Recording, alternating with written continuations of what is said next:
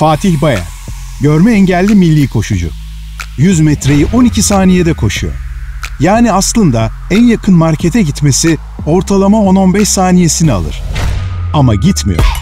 Çünkü onun Migros uygulaması var.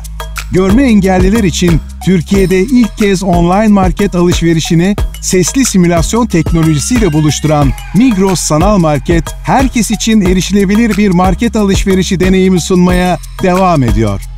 Siparişiniz alındı. 15 Ekim Beyaz Baston Görme Engelliler Günü'nde Migros uygulaması tüm görme engelli bireylerin yanında.